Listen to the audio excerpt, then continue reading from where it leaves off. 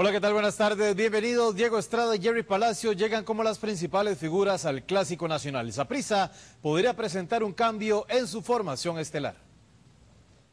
Saprissa sigue su preparación en el estadio Labrador de Coronado, donde afinan el sistema y los hombres que van a utilizar en el Clásico Nacional. El cuerpo técnico haría al menos un cambio en la formación con respecto al lunes. Figuras como Minor Scoy y David Vega podrían regresar a la titular. Estamos ya con rivales que nos acechan, especialmente La Juela, Herediano, eh, que han ganado y que también están cerca. Y ya les he dicho que lo del invicto no es algo que a mí me, me, preocupe tanto. lo que yo quiero es que el equipo esté en primer lugar. Los morados adelantan que será un clásico intenso y parejo desde el arranque, lo que garantiza un buen espectáculo.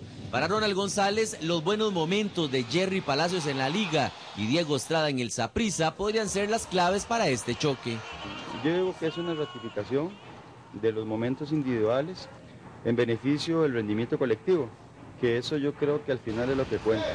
Saprissa se concentrará este sábado para el choque ante la liga.